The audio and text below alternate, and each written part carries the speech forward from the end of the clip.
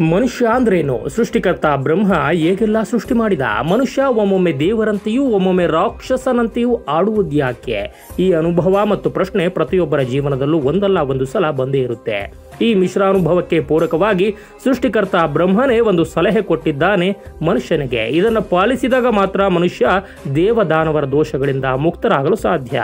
ಅಂದ ಹಾಗೆ ಆ ಸಲಹೆ ಮತ್ಯಾವುದೂ ಅಲ್ಲ. ದ ದ, ದಾ. ಏನಿದು? ದಾ ದಾ ದಾ ತಿಳಿಸ್ಕೊಡ್ತೀವಿ ಈ ವಿಡಿಯೋ ಮೂಲಕ.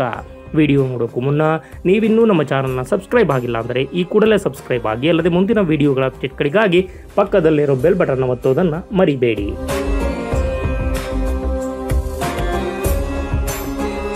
ಹಿಂದೊಮ್ಮೆ ಸುರಲೋಕ, ಅಸುರಲೋಕ, ಮಾನವಲೋಕ. ಈ ಮೂರೂ ಲೋಕಗಳ ಜನರು ಒಬ್ಬರನ್ನೊಬ್ಬರು ಕಲೆಯುವ ಸುಲಭ ಸಂಪರ್ಕವಿತ್ತು. ಮೂರೂ ಲೋಕದ ಜನರು ಪ್ರಜಾಪತಿ ಬ್ರಹ್ಮದೇವನ ಅಚ್ಚುಮೆಚ್ಚಿನ ಮಕ್ಕಳೆನಿಸಿದ್ದರು. ಒಂದು ಬಾರಿ ಈ ಮೂರೂ ಲೋಕದ ಜನರು, ಅಂದರೆ ಸುರರು, ಅಸುರರು, ಮಾನವರು, ಮೂರು ಗುಂಪಿನವರು ಬ್ರಹ್ಮನ ಬಳಿಗೆ ಹೋಗಿ ಬ್ರಹ್ಮಚರ್ಯನ್ನ ಪರಿಪಾಲಿಸುತ್ತಾ ಬ್ರಹ್ಮವಿದ್ಯೆಯನ್ನು ಕಲಿಯತೊಡಗಿದರು. ಕಲಿಕೆಯ ಅವಧಿ ಪೂರೈಸುತ್ತಾ ಬಂತು. ಬ್ರಹ್ಮದೇವ ಈಗ ಮೂರು ಗುಂಪಿನವರಿಗೂ ಸಮಾರೋಪದ ಉಪದೇಶವನ್ನು ನೀಡಬಯಸಿದ.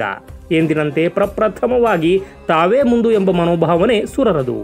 ಹೀಗಾಗಿ ಸುರರು ಅಂದರೆ ದೇವತೆಗಳು ಬ್ರಹ್ಮನನ ಉಪದೇಶ ಕೊಡುವಂತೆ ಕೇಳಿಕೊಂಡರು. ಪ್ರಜಾಪತಿ ಬ್ರಹ್ಮ ಅವರ ಅಭಿಲಾಷೆಯಂತೆ ಒಪ್ಪಿ ದಾ ಎಂಬ ಉಪದೇಶವನ್ನು ನೀಡಿದ. ನೀವೆಲ್ಲರೂ ಒಂದೇ ಅಕ್ಷರದ ಈ ಉಪದೇಶವನ್ನು ಅರ್ಥ ಮಾಡಿಕೊಂಡಿರಿ ತಾನೆ ಎಂದು ಕೇಳಿದ. ಇದಕ್ಕುತ್ತರವಾಗಿ ಸುರರು, ಅರ್ಥ ಮಾಡಿಕೊಂಡಿದ್ದೇವೆ, ಚೆನ್ನಾಗಿ ಅರ್ಥ ಮಾಡಿಕೊಂಡಿದ್ದೇವೆ. ನಮ್ಮ ದೇವಲೋಕದಲ್ಲಿ ಸರ್ವೋಪರಿ ಭೋಗ ವಿಲಾಸ ಪ್ರಿಯತೆ ವೃದ್ಧಿಸಿದೆ. ನಾವೆಲ್ಲರೂ ಅವುಗಳಲ್ಲೇ ಮುಳುಗಿ ದೇವತ್ವದ ಮಟ್ಟದಿಂದ ಕೆಳಗೆ ಬೀಳುತ್ತಿದ್ದೇವೆ. ಇಂದ್ರಿಯ ನಿಗ್ರಹ ಶಕ್ತಿಯನ್ನು ಕಳೆದುಕೊಂಡಿದ್ದೇವೆ. ಆದ್ದರಿಂದ ನಮಗೆಲ್ಲರಿಗೂ ದ ಅಂದರೆ ದಮನ ಎಂಬ ಭಾವದ ಉಪದೇಶವನ್ನು ನೀಡಿರುವಿರಿ. ಹೀಗೆಂದರು ದೇವತೆಗಳು.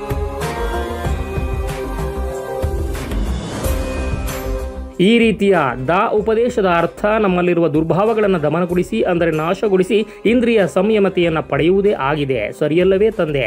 ಹೀಗೆಂದು ಕೇಳಿದರು ದೇವತೆಗಳು, ಪ್ರಜಾಪತಿ ಬ್ರಹ್ಮದೇವ ದೇವತೆಗಳು ಕೊಟ್ಟ ಉತ್ತರವನ್ನು ಆಲಿಸುತ್ತಾ ಪ್ರಸನ್ನವದರನಾಗಿ ಹೇಳಿದ, ನಿಮ್ಮ ಉತ್ತರ ನೂರಕ್ಕೆ ನೂರೂ ಸರಿ. ನೀವು ನನ್ನ ಒಂದಕ್ಷರದ ಉಪದೇಶವನ್ನು ಚೆನ್ನಾಗಿ ಅರ್ಥ ಮಾಡಿಕೊಂಡಿದ್ದೀರಿ ಎಂದು ಹರಸಿದ.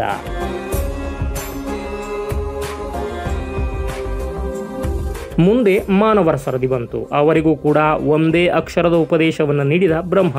ಅವರಿಗೂ ಕೂಡ ದಾ ಎಂದು ಒಂದಕ್ಷರದ ಉಪದೇಶವನ್ನು ನೀಡಿ ಪ್ರಶ್ನೆ ಮಾಡಿದ. ನಿಮಗೂ ನನ್ನ ಈ ಉಪದೇಶ ಅರ್ಥ ಆಗಿದೆ ತಾನೇ ಎಂದು ಕೇಳಿದ. ಮಾನವರು ಸಹ ಒಕ್ಕೊರಳಿನಿಂದ ಹೇಳಿದರು, ಆಗಿದೆ ತಂದೆ, ದಾ ಅಂದರೆ ದಾನ ಮಾಡುವುದು ಎಂಬರ್ಥ ತಾನೇ. ಮಾನವರಾದ ನಮ್ಮೆಲ್ಲರಿಗೂ ಸಾಂದರ್ಭಿಕವಾಗಿಯೇ ಉಪದೇಶ ನೀಡಿರುವಿರಿ. ಕಾರಣ, ಮಾನವ ಲೋಕದಲ್ಲಿ ಮಾನವರು ಅಂದರೆ ನಾವು ಸದಾಕಾಲ ಸಂಪಾದನೆಯಲ್ಲೇ ಮುಳುಗಿರುತ್ತೇವೆ.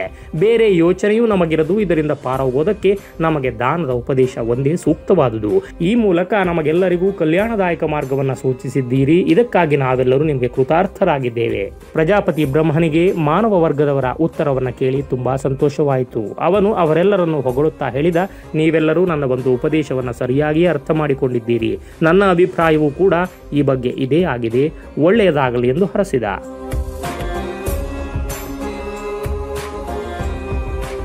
ಮುಂದಿನ ಸರದಿ ಅಸುರರದು. ಬ್ರಹ್ಮನ ಬಳಿ ಸಾರಿ ಪ್ರಾರ್ಥನೆ ಮಾಡಿಕೊಂಡರು ಅಸುರರು. ಪ್ರಭು, ನಮಗೂ ಈಗ ಸಮಾವರ್ತನೆಯ ಉಪದೇಶವನ್ನು ನೀಡಿ.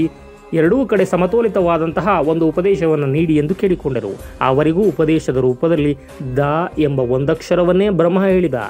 ಅಸುರರು ಅಂದರೆ ರಾಕ್ಷಸರು ಯೋಚಿಸಿ ಹೇಳಿದರು. ಪ್ರಭು, ನಮಗೂ ಸೂಕ್ತ ರೀತಿಯಲ್ಲಿ ನೀವು ಉಪದೇಶವನ್ನು ನೀಡಿದ್ದೀರಿ. ನಾವೆಲ್ಲರೂ ಸ್ವಭಾವತಃ ಬೇರೆಯವರಿಗೆ ಹಿಂಸೆಯನ್ನು ಉಂಟು ಮಾಡುವವರೇ ಆಗಿದ್ದೇವೆ. ಅರಿಷಡ್ ವರ್ಗಗಳಾದ ಕಾಮಕ್ರೋಧ ಮೊದಲಾದ ಸಮಾಜ ಕಂಟಕ ರೂಪದ ದುರ್ಭಾವಗಳಿಂದಲೇ ಕೂಡಿರುತ್ತೇವೆ ನಾವು ಸದಾ.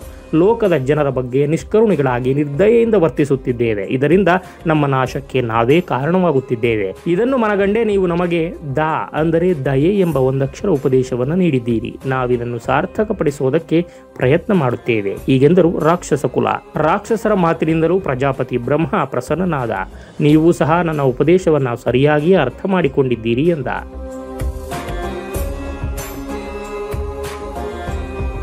ಇನ್ನು ಮುಂದೆ ಭೋಗ ಪ್ರಧಾನ ದೇವತೆಗಳೇ, ನೀವೆಲ್ಲರೂ ಮನಸ್ಸನ್ನು ನಿಮ್ಮ ವಶದಲ್ಲಿಟ್ಟುಕೊಂಡು ಇಂದ್ರಿಯ ದಮನದೊಂದಿಗೆ ಜೀವಿಸುತ್ತೀರಿ. ಮಾನವರೇ, ನೀವು ಸಹ ನಿಮ್ಮ ಭೋಗ ಸಾಮಗ್ರಿಗಳನ್ನು ದಾನ ಮಾಡಿ, ಇದರಿಂದ ನಿಮ್ಮ ಜೀವನ ಸಾರ್ಥಕ ಆಗುವುದು. ಕ್ರೋಧ ಪ್ರಧಾನರೆನಿಸಿದ ರಾಕ್ಷಸರೇ, ನೀವು ನಿಮ್ಮಲ್ಲಿರುವ ಕ್ರೋಧಾದಿಗಳಿಂದ ದೂರವಾಗಿ ದಯೆ ಎಂಬ ಅತ್ಯುತ್ಕೃಷ್ಟ ರೀತಿಯ ಸದ್ಭಾವನೆಯ ವರ್ತನೆಯನ್ನು ಮೈಗೂಡಿಸಿಕೊಂಡು ಜೀವಿಸಿರಿ ಎಂದ ಬ್ರಹ್ಮದೇವ.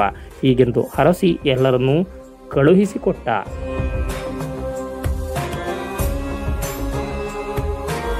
ಈ ಸಣ್ಣ ಕಥೆಯ ಅಪರೂಪದ ಸಂದೇಶ ಏನಂದರೆ ಮನುಷ್ಯರಾದ ನಮಗೆ ಸುರ ಮತ್ತು ಅಸುರ ಇಬ್ಬರ ಗುಣಗಳೂ ಇವೆ. ಗುಣಗಳ ಜೊತೆ ಅವಗುಣಗಳೂ ಇವೆ. ಈ ಅವಗುಣಗಳನ್ನು ಹೊರಹಾಕಿ, ಗುಣಗಳನ್ನು ವೃದ್ಧಿ ಮಾಡಿಕೊಂಡು ಉತ್ತಮವಾಗಿ ಬದುಕಿದರೆ ಮೋಕ್ಷ ಕಲ್ಯಾಣ ಮಾರ್ಗವಾಗಿ ಹೆಜ್ಜೆ ಹಾಕಬಹುದು ಎಂಬುದಷ್ಟೇ ಈ ಕಥೆಯ ಸಂದೇಶ ವೀಕ್ಷಕರೇ.